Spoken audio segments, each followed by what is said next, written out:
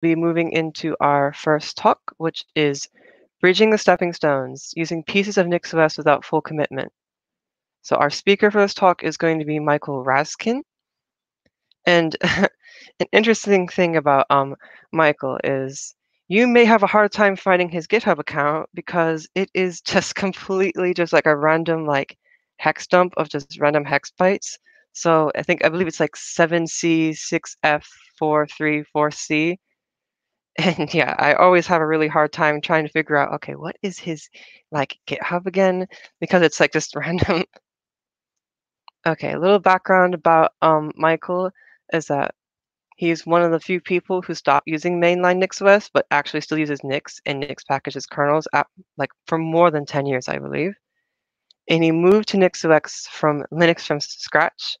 And he was actually using a separate Union FS slice for each package in that distribution and he's a postdoc in computer science. Um, I believe it's theoretical to applied computer science, and he started using NixOS in 2007. Okay, I believe Michael can now take it away.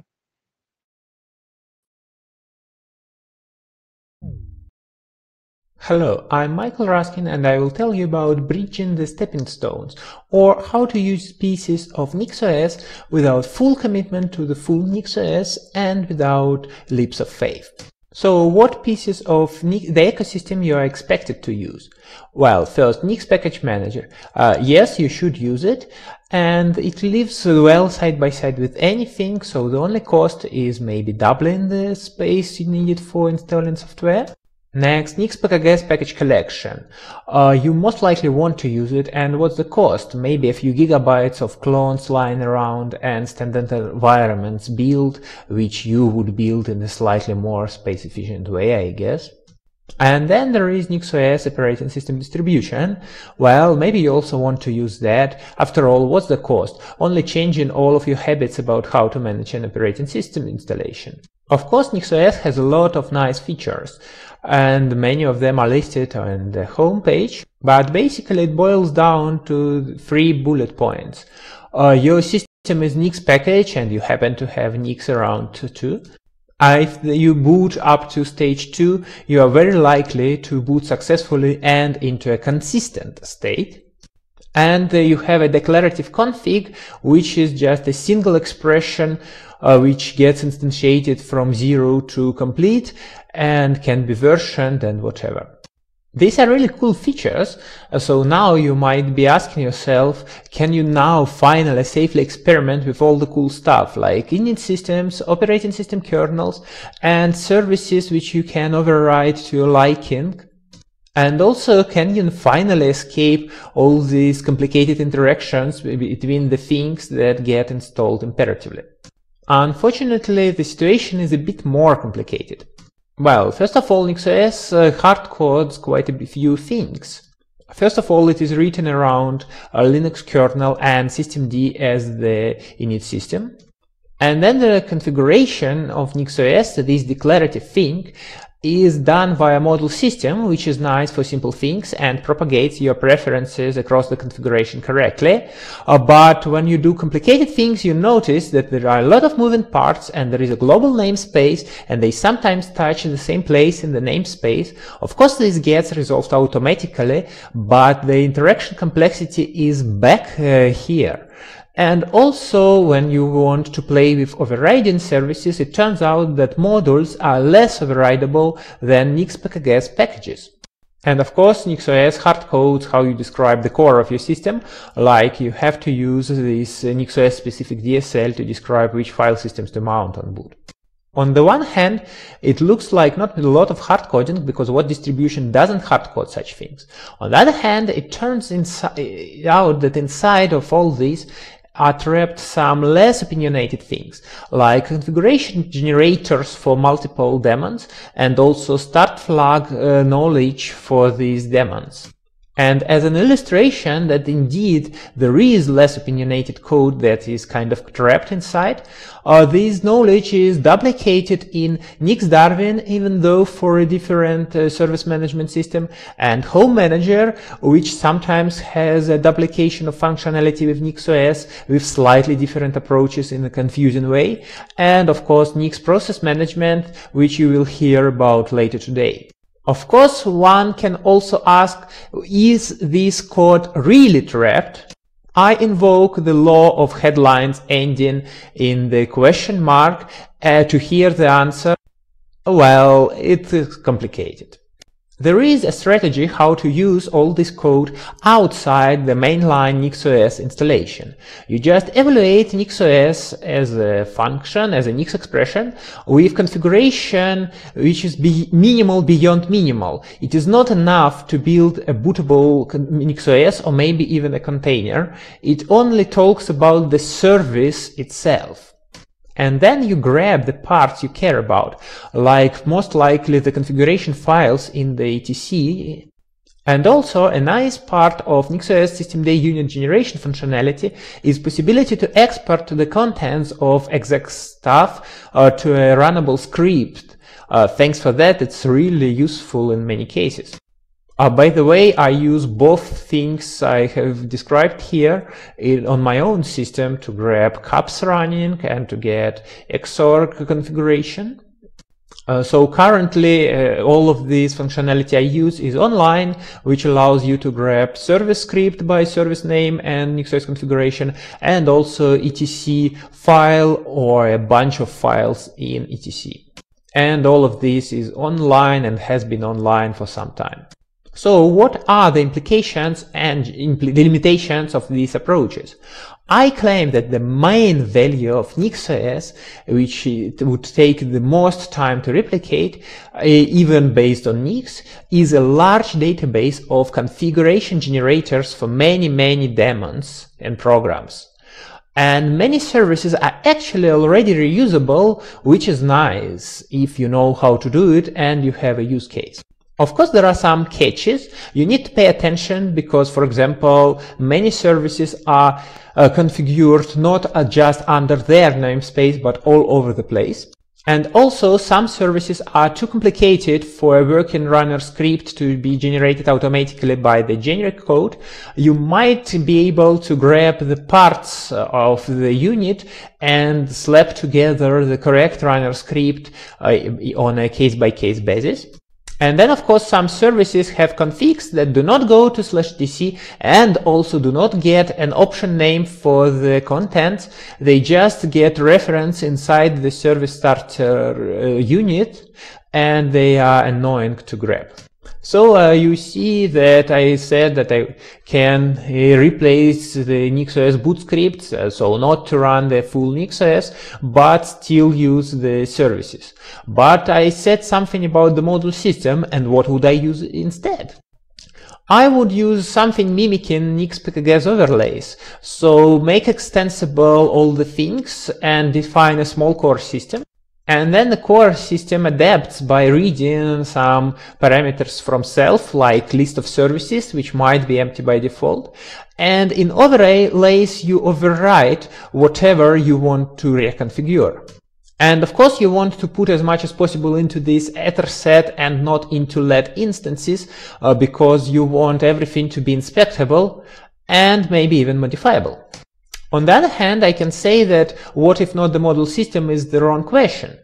The other question is, can we make it not matter?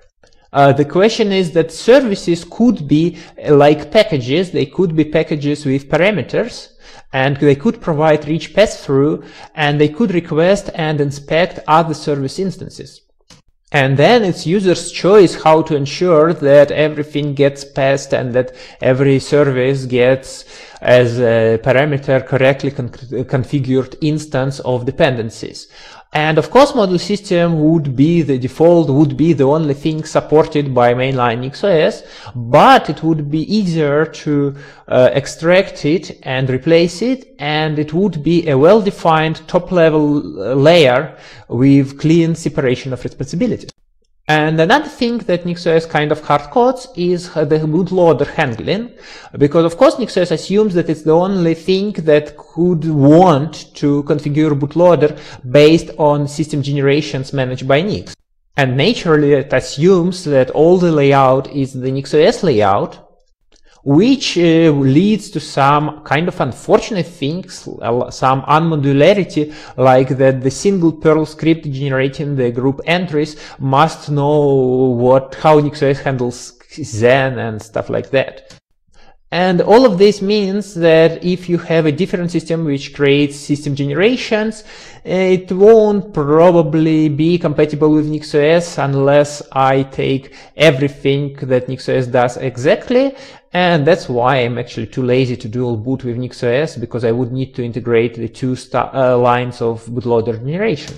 So if I dream what I would dream about, I would like to see NixOS services as Nix-like package collection um, with services configured by argument uh, passing and argument overrides and maybe overlays. I would love to see module system then on top of that as one of the ways to connect things, even if the main one. And then uh, I would love to see multiple independence options for core, like for boot scripts and stuff arise uh, while still sharing the service database in an efficient way.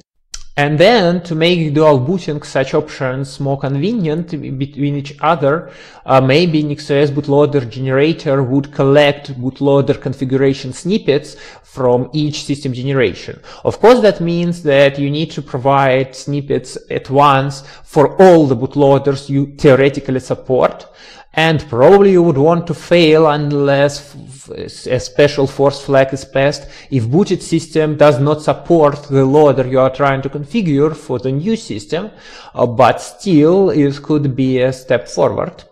And if I'm dreaming anyway, I would like NixOS to gain support for atomic slash etc switching. It's not completely infeasible. I do use it on my system, which is kind of similar uh, to NixOS, and it's a symlink into store. And so one symlink change, and that's it. I promised to talk a bit about why did I even bother replacing the NixOS boot script. Well, first of all, I like that my virtual terminals are not owned by systemd, which makes it easier to do my custom tricks around launching Xorg, and also it makes it easier to write stuff like power of command is privileged not by password, by, by a check of physical pre uh, presence. Uh, sorry, no screencast because it's very annoying to use Xorg screencasting software with a lot of virtual terminal switches, you know. And then my system is managed by custom written common Lisp daemon mainly, and for example, it integrates uh, uh, automatic NSJail wrappers, so everything uh, I want can be run in jail. Uh, because I don't know, nobody runs browsers outside containers in 2020, right? And of course, only handpicked things have sound access, which means that my user doesn't actually have sound access. Only the things that are run in jails, which are specifically granted sound. And then uh, my on-boot mounts are a mess, which is for me easier to manage as a straightforward shell script than inside Nix DSL and maybe uh, contrary to its assumptions. And then just for fun and ease of debugging, I have full versions of everything I have in initramfs included there. So LVM2 means full LVM2, yes, with full glibc dependency. Yes, it takes space, but it only takes space in memory until I actually switch to the main system, so who cares? And I like to have my services started via explicitly specified, nice, traceable scripts. So if something goes wrong, it's easier to debug. And what you can take out of this, if you want commitment neither to NixOS approach nor to my approach, well, you can take wrappers for piece ex extraction out of NixOS, as I mentioned and then a wrapper to create an isolated dbus session inside a container for something that wants the dbus session but doesn't deserve access to your main one if you even have the main dbus session because I don't. Uh, maybe you might be interested in Firefox Empty Profile Builder based on launching Firefox once in Xdummy. And then there is some code for converting TrueType fonts uh, to bitmap format for Linux console uh, because monospace fonts often come with very good hinting and FontForge is pretty good at converting fonts between formats. Thanks for your attention. Are there questions?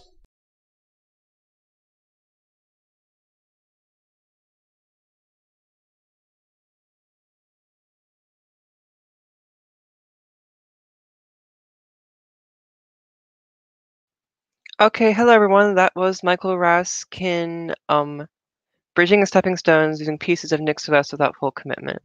And I did get um, news from the channel that we did start a bit earlier than expected. So I think it was supposed to start at 7.15.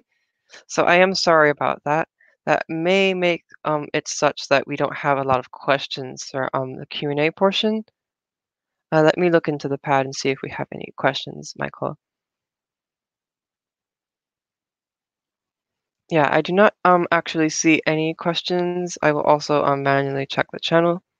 NixCon Q&A. If anyone has a question, you can ask there. Yeah, I do not see a question. Yeah, I am sorry about that, Michael. Yeah, oh. it happens, whatever. On the other hand, maybe it means that the talk was clear enough. Yeah, that is also um a possibility.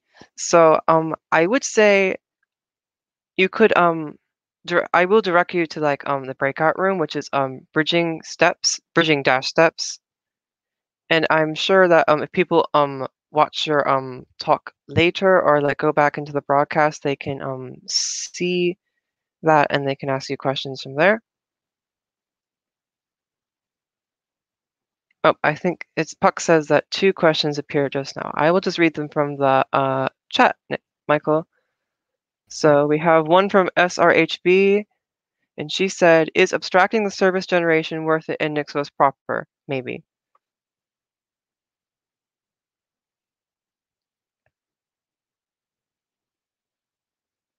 Uh, Michael, I believe you're muted. I'm sorry.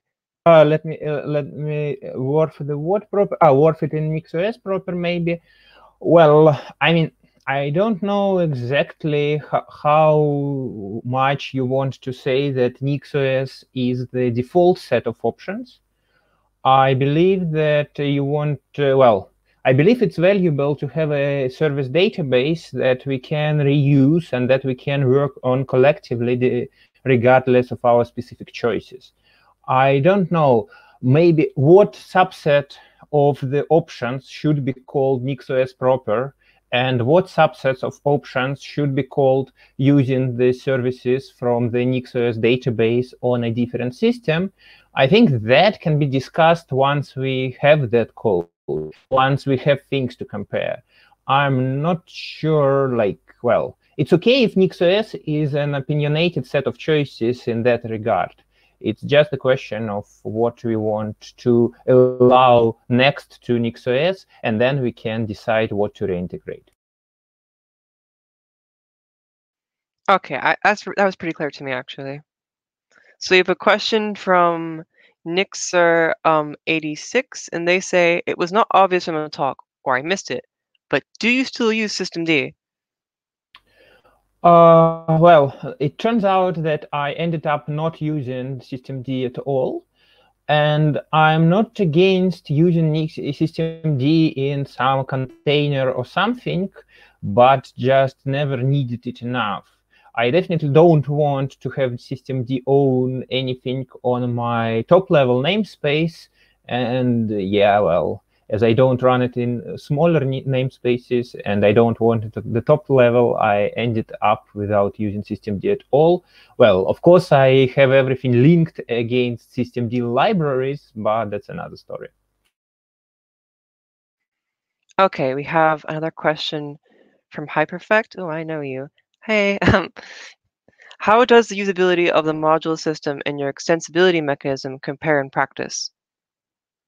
Uh, well, in a sense, it's hard to say because for my needs, uh, my, this extensibility via overlays has better transparency and easier debuggability for my specific use case. But that's uh, another story in a sense. Uh, I never tried to use module system to uh, have multiple people uh, multiple people build uh, vastly different uh, configurations. And i cannot exclude for many people it is a very good choice to use module system because it propagates your uh, preferences across the system well. Uh, well at least as long as you're inside the expectations uh, so it's I don't know. I didn't try to see for who, for who, I, I believe that there are uh, situations where for some people and for some settings, uh, different approaches are more usable, more debuggable, more inspectable than the module system. And as I said, I am not sure. It might be that it's still the best choice for the mainline, most popular version of NixOS. Okay, we have a question from Ryan TM. He says, it sounds like your suggestion to move modules to packages is maybe the opposite of Eelco's proposal yesterday. What do you think? Haha. well, I think the following. Well, first of all, uh, as of me not addressing at all any of Eelco's points, uh, kind of sorry, but World of Peace can confirm that my recording has been finished before I had any chance to see uh, Eelco's talk yesterday. Uh, and on the other hand, yeah, I think the following. I do believe that, well, when I looked yesterday, for example, at the slides uh, of Eelco's talk, I was a bit worried. Then you say, okay, and you can overwrite the configs of the module you extend. And then you, I saw the config override, and it was just global override and so you know it's complicated. Uh, so i thought that okay so what are the scoping rules? I think that for putting uh, models inside nix things like scoping rules not to stop being you know a purely functional programming language which gives you an, at least an option to have full referential transparency not only formally but also really and to avoid global namespaces if you want to avoid the global namespaces and so on. I think nix being a purely functional programming language was very valuable from the very beginning and is still valuable now. And so I believe, yeah, as I said, I believe that module system is a good thing at some levels, but I believe there are layers that are better done as pure functions and fully extend and fully expectable plain uh, uh, data structures. Okay, um, looking at the pad again for more questions. I do not see any. Uh, I think. Uh, what Virik? Ah, Virik asked, uh, "What's the what's my init?"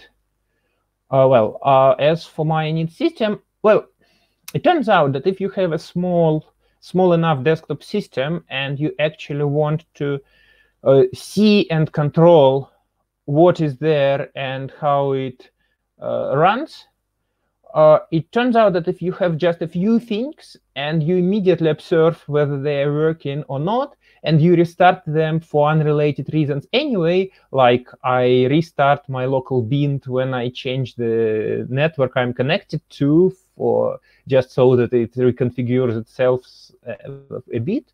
Uh, I it turns out that in this situation, I don't even need an init, a real init system in a sense. So I do have uh, PID1, obviously, and PID1 is intended as an init system, and it is static init sinit from suckless. I don't like everything suckless does.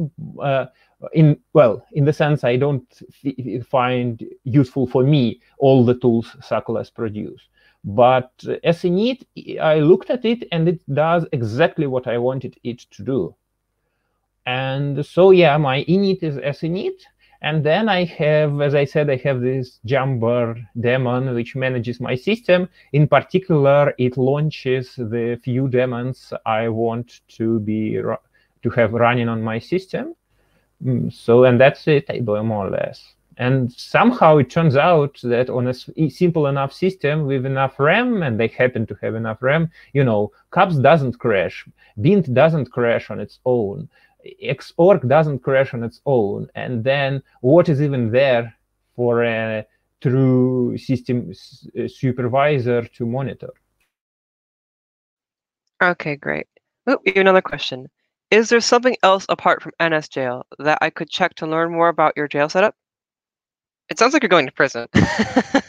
well, I mean, mm, I, as you, I, I, I, hope at some point, yeah, I will at some point publish the slides, I guess, and I hope that the recording will be there. There is, then, well, most of my setup, because of course there are some small things which are very local, like some of the specific uh, uh, host names and stuff, which might not be fully included, but generally, uh, you know, I have mm, uh, most of my setup online in my GitHub account uh, as LangOS.